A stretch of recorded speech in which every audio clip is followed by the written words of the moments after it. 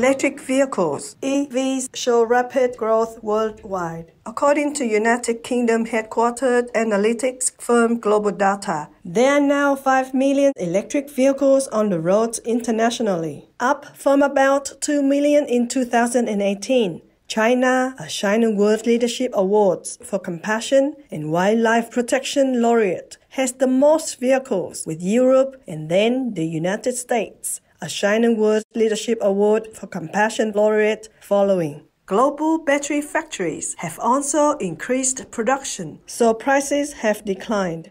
In addition, there has been a big rise in the number of charging stations, with the UK now having more charging points than gasoline stations. It is expected that beginning in 2025, global car manufacturers will commence large scale manufacturing of EVs as well.